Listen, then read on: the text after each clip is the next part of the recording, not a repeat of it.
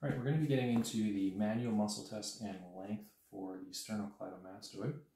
So with this, first thing I'm going to be doing is showing my partner the action because it's quite complex. So I'm going to go through the actions one more time.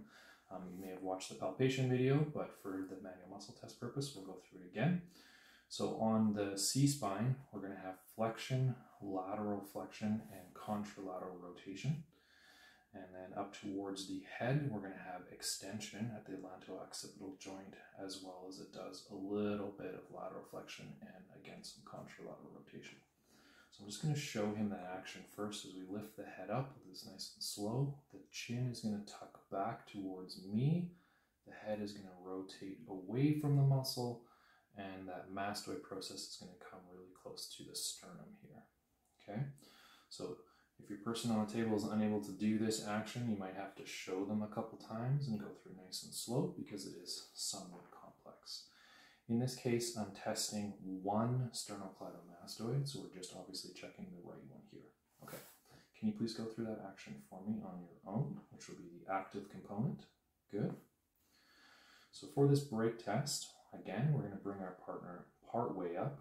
I'm going to be holding on both sides of his heads uh, one here on the right, and again, I'm supporting on the left. But what I'm going to try to do is rotate him as well as push him back down towards the table.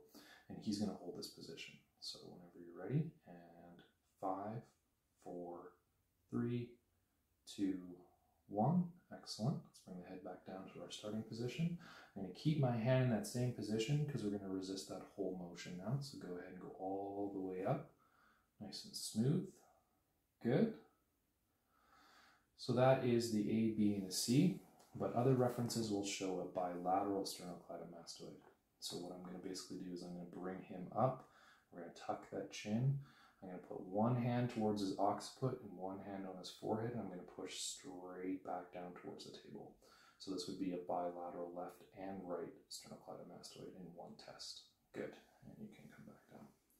So sometimes it's important to check both left and right as they work together, since a lot of people have head forward posture and it might be weak, and we also want to test left and right separate.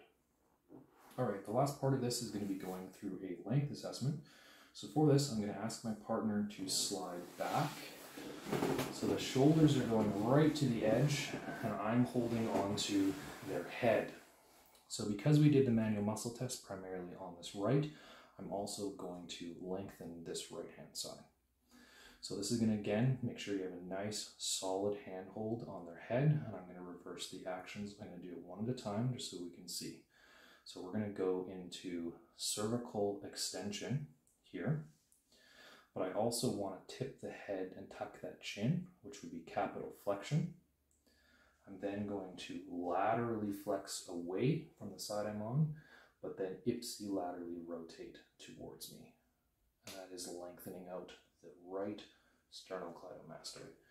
Be careful not to spend a lot of time there because we don't want to cause any occlusion to the vertebral artery with this length test. And you can go back onto the table. And that's going to conclude the MMT and length for sternocleidomastoid.